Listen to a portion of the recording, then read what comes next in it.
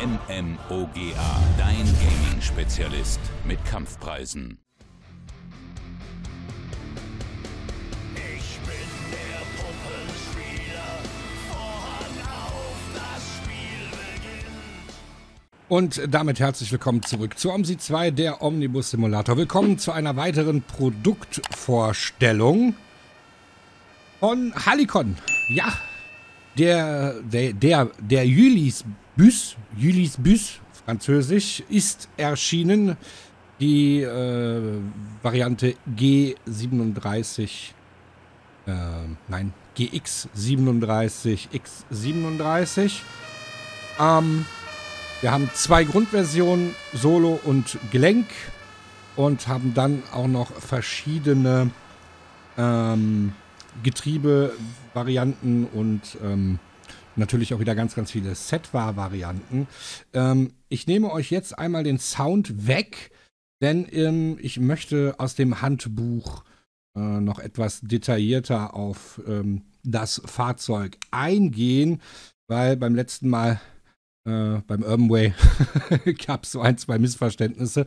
Das, ähm, ich möchte nicht, dass mir das wieder passiert. Also, ich habe schon gesagt, wir haben zwei Grundversionen, Gelenk und Solo. Äh, wir haben vier Längenvarianten: 9,50 Meter bzw. 9,52 Meter, 10,74 Meter, 12 Meter äh, und äh, 17,80 Meter. Sowohl mit 2,33 Meter Breite als auch 2,55 Meter Breite. Die Höhe ist abhängig von der Antriebsart und der Emissionsklasse.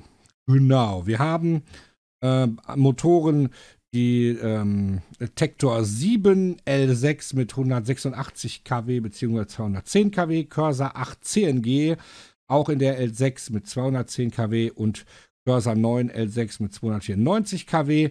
Dann haben wir ein Void Diva 854.6 und 3ZF6 AP äh, Getriebevarianten. Ähm, nämlich 1200B, 1400B, 1700B, also Tektor 7, Cursor 8 und Cursor 9. Ähm, Ihr habt schon gehört, es gibt ähm, auch eine CNG-Variante, deswegen ähm, ist das so ein bisschen so mit der, mit der äh, Höhe des Fahrzeugs. CNG ist natürlich höher. Ähm, wir haben einen kleinen, einen mittleren, einen Standard und äh, einen Gelenkbus, dann dreitürig, viertürig. Das erkennt ihr in der Busauswahl an 2P für Portal oder 3P für Portal.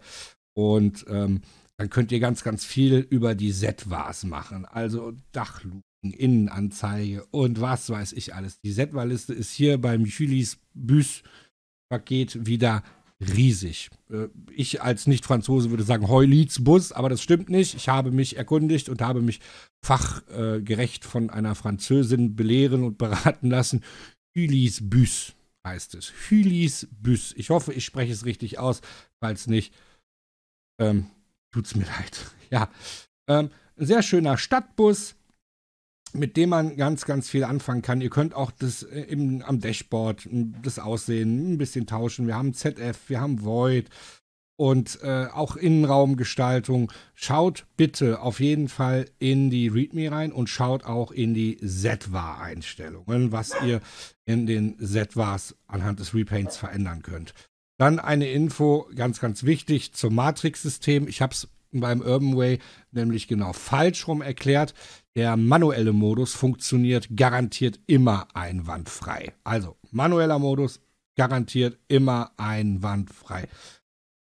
Im Automatikmodus kann es zu Problemen kommen. Und wo wir gerade bei Problemen sind, jetzt habt ihr auch wieder Sound. Ähm, ja, es ist dasselbe Problem wie eigentlich beim Urban Way. Und ich habe jetzt echt ein bisschen geschaut und habe andere Busse auf Blankwitz gespawnt und habe den Hylis Bus auch nochmal auf meiner Testkachel gespawnt. Das Problem bleibt das gleiche. Das Fahrzeug lässt sich nicht reparieren. Wir haben es beim Urban Way gesehen. Das wird daran liegen, dass teilweise dieselben Skripts verwendet werden. Zum Beispiel von der Matrix, vom Matrix-System. Das Dashboard nehme ich auch an, ist, das, äh, ist dasselbe Skript. Ähm, das ist ja auch gar nicht so schlimm. Der Fehler ist dann halt übernommen worden. in der Webdisk habe ich den Fehler gepostet. Äh, da kann man sich den Fehler nicht erklären. Ich habe andere Busse auf Blankwitz gespawnt und auch auf anderen Karten. Die kann ich problemlos reparieren, sowohl mit meinem Tastenkürzel als auch äh, mit, der, mit dem entsprechenden Symbol in der Schnellauswahl bei OMSI. Also an mir liegt es tatsächlich nicht.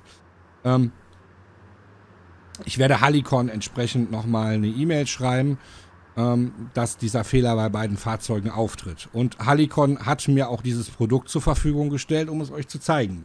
Deswegen vielen Dank an dieser Stelle. 17,95 Euro kostet das Buspaket und meiner Meinung nach ist der Preis gerechtfertigt. Wir bekommen zwei Grundfahrzeuge, verschiedene Varianten und es ist wieder ganz, ganz viel über ZWAS zu machen. Das Fahrzeug ist äh, stabil, es ist ordentlich aufgebaut.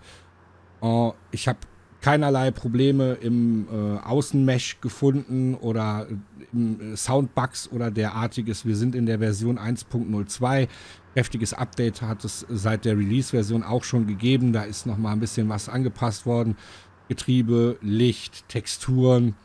Ähm, man hat sehr schnell auf gemeldete Fehler reagiert. Ich hoffe, dass dieser Reparationsfehler dann auch noch bearbeitet wird. Fahrerarbeitsplatz, sehr, sehr ähnlich wie beim Iveco Urban Vane, Actia Dashboard, sehr schön aufgeräumt, schön kantig. Ich habe das schon gesagt, ich mag das. Und rechts haben wir dann den Fahrplandrucker. Der macht bei mir auch Probleme. Vielleicht macht er jetzt gleich keine mehr. In meiner Testfahrt hat er Probleme gemacht.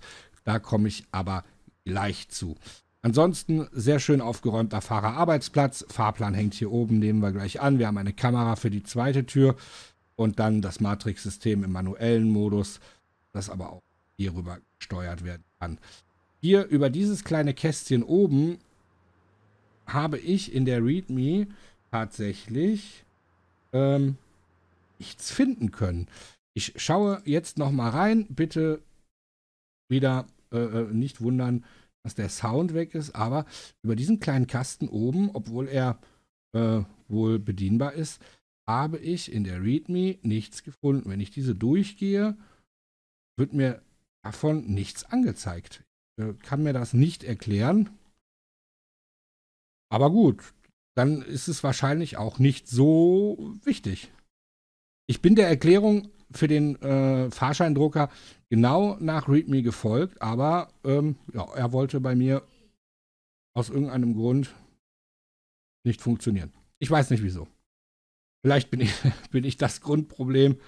Ähm, äh, wir werden es herausfinden. So, der Innenraum sehr schön aufgeräumt. Texturen sind wie gewohnt von diesem Entwickler scharf, aber nicht zu scharf, nicht zu performant, aber auch nicht zu verschwommen. Stop-Taster, hier auch das Wort Stop und nicht wie beim Urban Way das Piktogramm. Ansonsten alles sehr, sehr ordentlich verarbeitet. Wenn wir mal das Licht einschalten. Wir haben jetzt mit ausgeschaltetem Motor äh, nur die Halbbeleuchtung, reicht aber völlig aus. Lichtreflexionen im Fahrzeug sehen ordentlich aus. Ähm, wir haben hier jetzt in dieser Repaint-Variante dann als Fahrgastinformationssystem wieder das LED-Laufband. Ihr könnt ja aber auch einen Monitor reinmachen. Tobt euch in den ZWAS aus. Es gibt sehr, sehr viel zu tun und sehr, sehr viel zu verändern. Wir nutzen hier das Standard Leo Repaint, das mitgeliefert wird. Das fand ich jetzt ganz schön. Äh, ich werde jetzt einen Fahrplan auswählen und zwar. Moment. Ähm, der müsste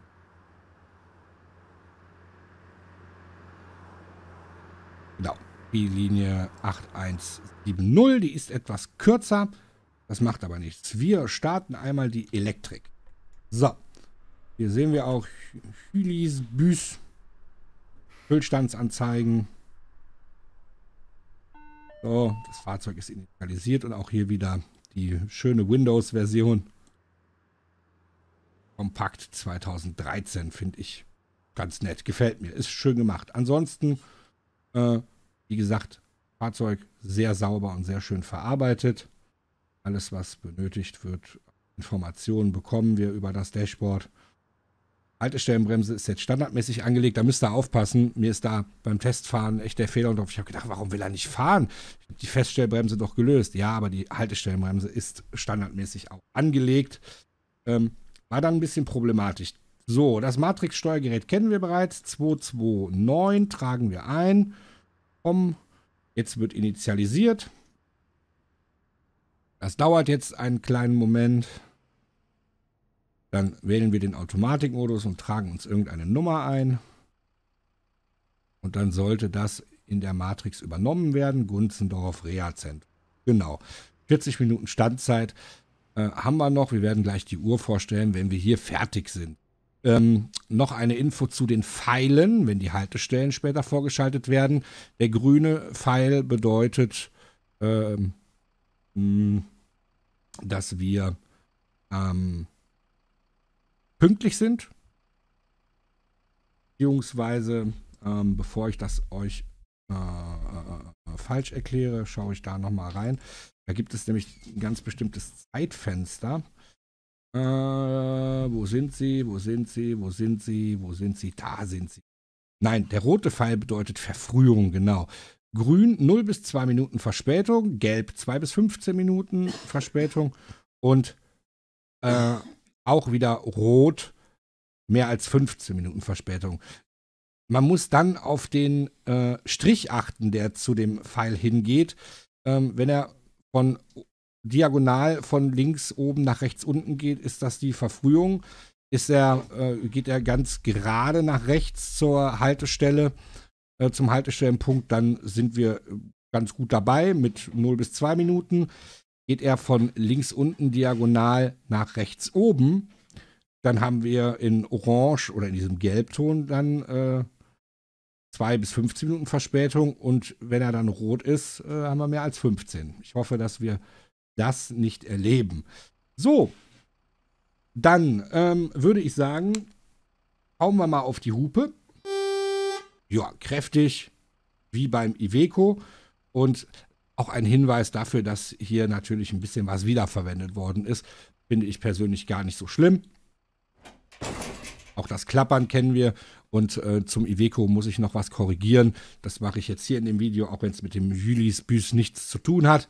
Ähm, es gab eine kleine Diskussion in den Kommentaren unter dem Vorstellungsvideo zum Iveco Urban Way und ähm, wir haben tatsächlich den Fehler gemeinsam finden können. Nicht die RSVG hatte einen Urban Way, sondern Oettershagen hat einen und den kenne ich, mit dem bin ich auch schon sehr häufig gefahren. Als Kind bin ich mit dem äh, Irisbus Citelis gefahren. Der hat auch so eine markante, äh, so eine markante Heckpartie. Ähm, die mich sehr, sehr stark an den Urban Way erinnert. Aber ist ja kein Wunder, ist auch Iveco. Also von daher. So, haben wir das auch geklärt. Wir kommen zu diesem netten Gerät, das bei mir nicht richtig funktionieren möchte. Ich kann hier nichts klicken. Ich kann hier die Sprache nicht wechseln, warum auch immer. Und eigentlich ist es so, dass man hier eine fiktive Nummer eintragen kann, aber ihr seht, da erscheinen keine Zahlen. Normalerweise werden nämlich dann hier ähm, werden hier dann ähm, die Haltestelle, die nächste Haltestelle, das Ziel etc. alles angezeigt. Also im Endeffekt genau nochmal das, was hier angezeigt wird. Das funktioniert aber nicht. Ist der Fahrkartendrucker. Warum er nicht funktioniert, ich kann es mir nicht erklären. Ich mache alles, habe alles so gemacht, wie es in der äh, README steht. Das ist jetzt auch nicht schwer. Wenn da jemand eine Idee hat oder eine Lösung, bitte gerne in die Kommentare, weil ich habe keine. Wir stellen die Uhr vor und dann können wir das Fahrzeug auch in Aktion erleben. Geschildert haben wir, genau, auch hier eine schöne Matrix, genau wie beim Iveco. Gunzendorf, Reha-Zentrum. So, wir machen den Motor an. Klingt schön kräftig.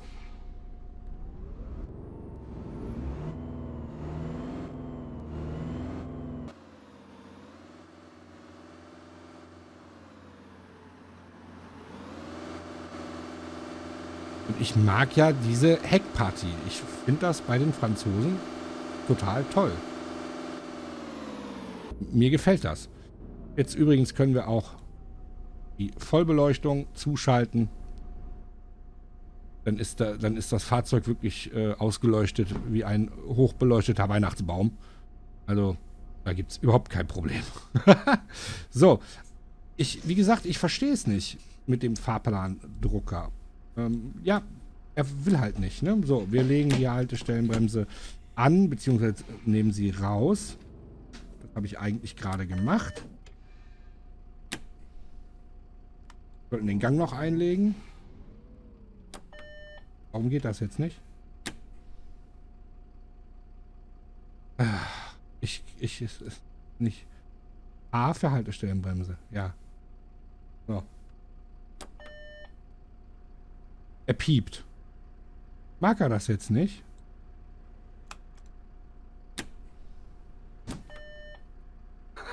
Jetzt mag er mir die Haltestellenbremse nicht lösen. Dieses Fahrzeug hat immer was, ne?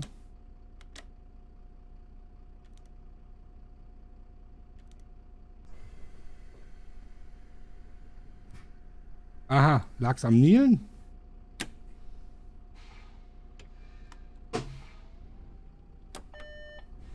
Ja, es lag am Nielen. Oder es, es war zu wenig Vorratsdruck. Irgendwas war's. Spiegel, wunderbar zu sehen. Habe ich überhaupt kein Problem. Und wegen diesem Problem mit den Reparaturen habe ich jetzt auch die Kollisionen erstmal rausgenommen, weil es ist einfach Kacke. So, rein mit euch. Hallo. Hallo. Guten Tag. Einmal Tag. normal. Danke. Es, es ärgert mich einfach, weil Tag. dann dötschst du irgendwo gegen oder dir dötscht jemand rein Danke. und dann kannst du den, den Bus einfach nicht ordnungsgemäß reparieren. Und das ist halt blöd. Wie gesagt, ich werde das aber Halikon in die Mail packen. Würden Sie bitte mal ein bisschen die Heizung anmachen? Das ist Eine ja ganz schön kalt hier drin. Der Patrick, der sich so ein bisschen mit Skripten und so auskennt, meinte, da muss es auf jeden Fall einen Fehler im Skript geben. Und da sich hier der Iveco Urban Way und der äh, Julis Büs ein paar Skripte teilen, ähm, denke ich, wird es damit zu tun haben. Man hat dann das Skript übernommen Hallo, und den. Fehler halt auch.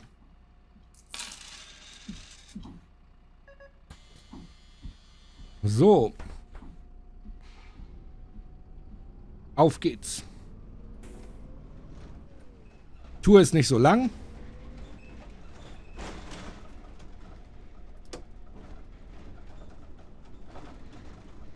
Gut, der Fahrgast steht da natürlich jetzt äh, mehr als unpassend. Kurvenlicht haben wir übrigens auch.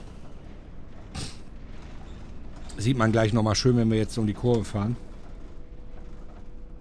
Oder Abbiegelicht, wie man es auch nennen will. Ich schlag das Lenkrad ein und ihr seht, es leuchtet. Habe ich das Lenkrad wieder gerade gemacht und es leuchtet nicht mehr. Man sieht es leider nicht im Scheinwerfer. Aber jetzt dürfte es auch wieder aus sein. Wir gucken gleich mal im Abbiegevorgang. Nächste Haltestelle, Karstadt Lerchenweg. Mir wird auch immer der Lärchenweg hier angezeigt. Ah, der ist... Hier ist er doch.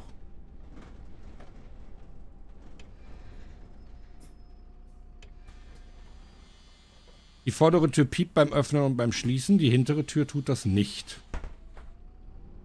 Die Kiste denn jetzt schon so voll? Da wären ja noch genug Sitzplätze vorhanden. So ist ja nicht, ne? Ja, ihr seht also, wenn ich das Lenkrad weit genug einschlage,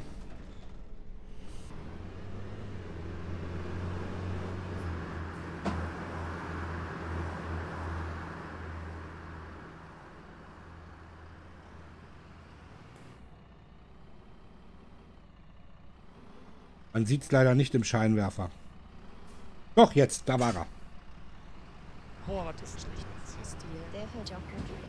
Da hat er geleuchtet. So, jetzt fährt hinter uns wahrscheinlich der Kollege, den, äh, der die Tour eigentlich fahren sollte, dem ich aber jetzt die Tour weggenommen habe.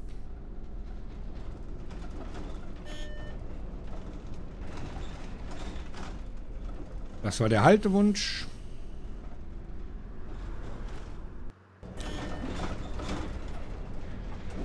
Huch, da hat es kurz geruckelt.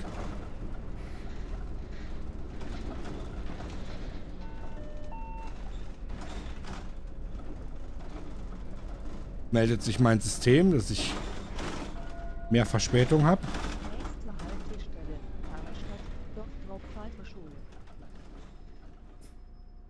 Ja, Dr. Pfeiffer Schule, das ist dann hier, ne? Weil hier hält doch nur der Schulbus.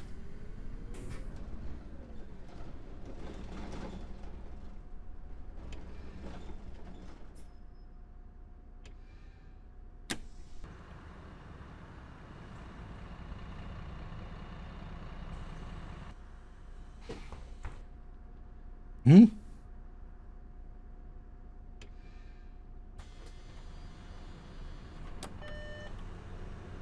So. Ist der jetzt vorne ausgestiegen?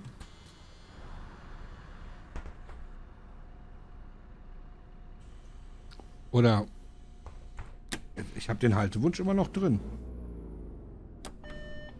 Hm.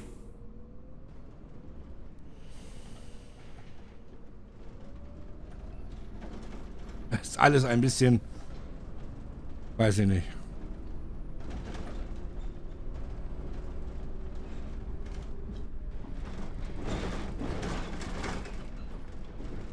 Nimm halt den nächsten halt. Na, da oben haben wir auch nochmal den Haltewunsch. Blinken brauche ich eigentlich gar nicht. Weiß auch nicht, warum ich das jetzt mache. Also der Motorsound gefällt mir. Ist schön kräftig.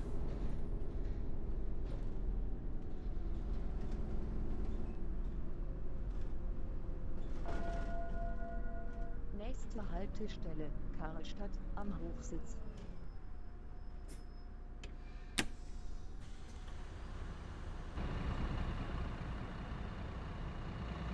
Haltewunsch, aber es steigt niemand aus. Äh.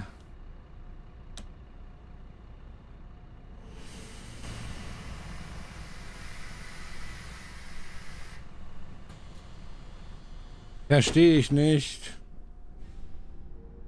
Der Haltewunsch weg, okay. Hm. Hier sieht man jetzt übrigens, die Verbindung zum Pfeil geht nach oben und ist orange. Wir haben zwischen 2 und 15 Minuten Verspätung. Aber warum sind wir so schief?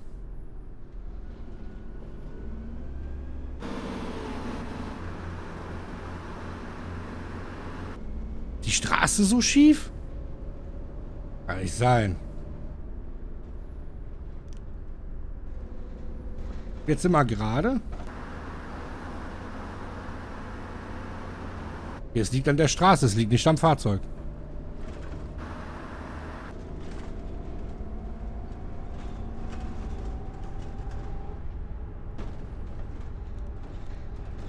Höher pumpen kann ich ihn auch nicht, ne? Nee. Licht und Blinker, alles schön mit LED. Nächste Haltestelle Retzbach, Gärtnerei.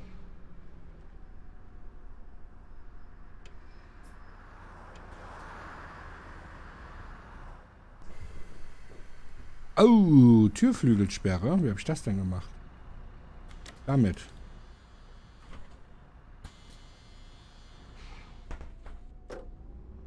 Okay. Geht ja auch da. So, jetzt biegen wir links ab. Nächster Haltewunsch.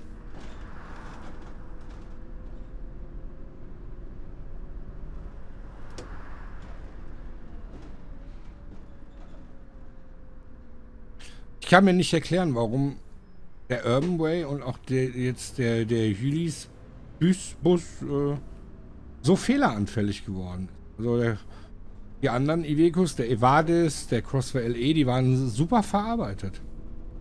Aber hier? Hm. Naja, gut. Man kann jetzt mutmaßen, wie man möchte, aber es ist schade.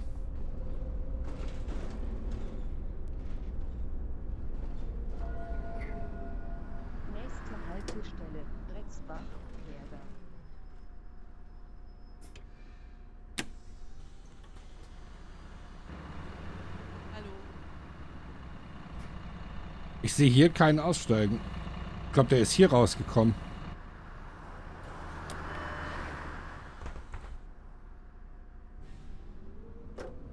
Aber wir sind wieder pünktlich. Versuch das jetzt nochmal hier.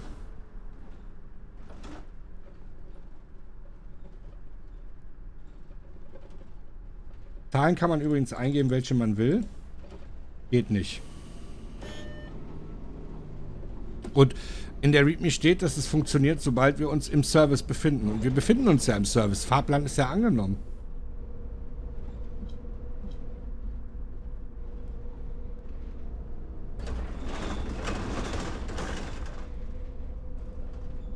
So, wie gesagt, Kollision habe ich rausgenommen.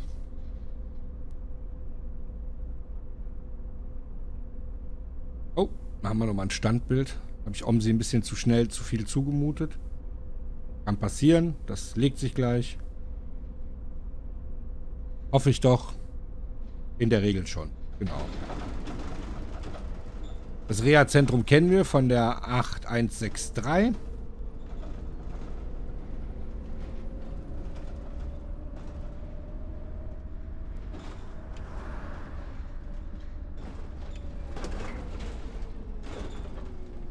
Nächstes fahre ich wieder Auto. Ja, gut. Boah, ja. das war jetzt nicht so gelungen. Will ich mir aber gleich mal anschauen, wie die Leute aussteigen hier.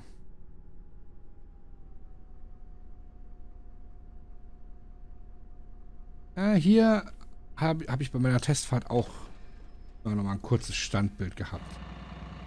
So, gucken wir mal.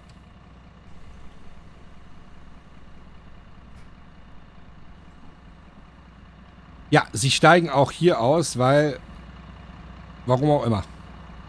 Also, das äh, passt auch noch nicht so ganz. Da ist auch noch der Fehlerteufel drin. Und vorne steigt ihr auch aus. Eine Fahrkarte bitte. Ach, der wollte eine Fahrkarte.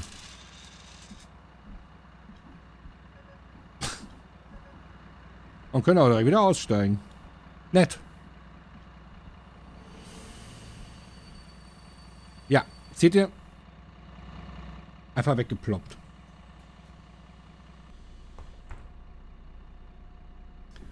Gut. Ich möchte euch das mit dem Reparieren allerdings noch einmal zeigen, ähm, dass es nicht funktioniert. Dafür schalte ich die Kollision ein.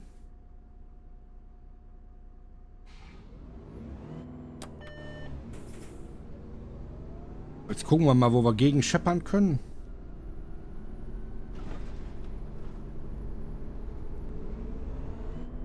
Das müsste gehen. Na, durch die Mauer kann ich durchfahren?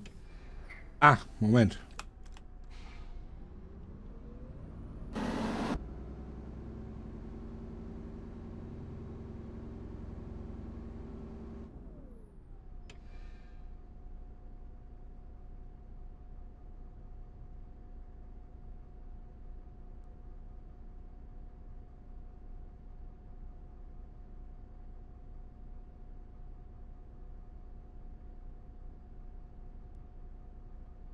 Ne, das liegt irgendwie an den Objekten.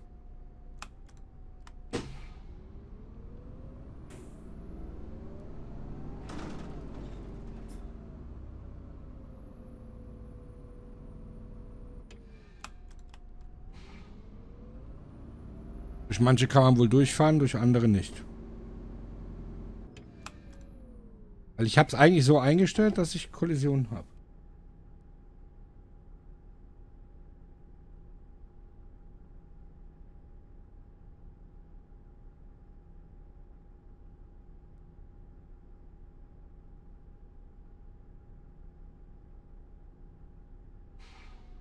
Ja. Fahren wir jetzt hier nochmal irgendwo volle Elle rumsen da rein.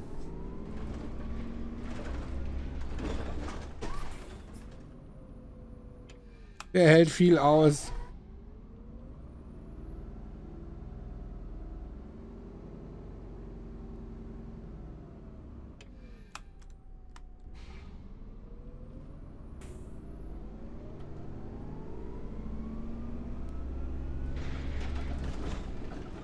Jetzt ist er kaputt. Ich betätige jetzt den Knopf zum Reparieren über das OMSI Schnellmenü. Betätige ihn wieder.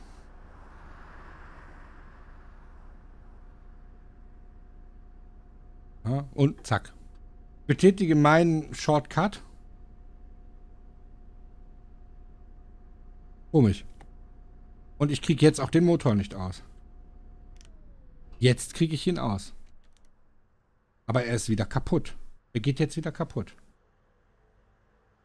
Zack. Da stimmt was mit dem Skript nicht. Da muss auf jeden Fall nachgebessert werden, weil nur ohne Kollisionen fahren, um nicht zu riskieren, dass man mit der Kiste liegen bleibt auf Dauer, ist schlecht. Ansonsten mag ich das Fahrzeug 1795, zwei Grundmodelle, Solo und Gelenk, vier verschiedene Längen, zwei Längenvarianten Solo, zwei Längenvarianten Gelenk. Kann man sehr viel Spaß mit haben. Ähm, bin ich mir sicher. Habe ich gesagt, zwei Längenvarianten Gelenk? Nein, das, äh, ich glaube, das stimmt nicht. Zwei Längenvarianten Gelenk. Wir schauen nochmal nach. Jetzt war ich mir gerade selber unsicher. Äh, habe ich den? Ne, drei Solo, eine Gelenk. 9,5, genau, 9,52, 10,74, 12,06 und 8. Egal, auf jeden Fall bedeutet es viel Spaß. Der Bus macht Spaß, lässt sich gut fahren. Wenn dieses Problem mit dem Reparieren gelöst ist, genau wie beim Urban Way, kann man auch mit diesem französischen Fahrzeug sehr, sehr viel Spaß haben. Ist ein Stadtbus, eignet sich aber auch für den Überlandverkehr, macht schön was her, schöne große Matrix, die auch, äh, soweit ich das gesehen habe, multicolorfähig ist. Da kann man definitiv auf allen Kartenvarianten mitarbeiten. In diesem Sinne wünsche ich euch ganz, ganz viel Spaß mit diesem Add-on und sage Tschüss.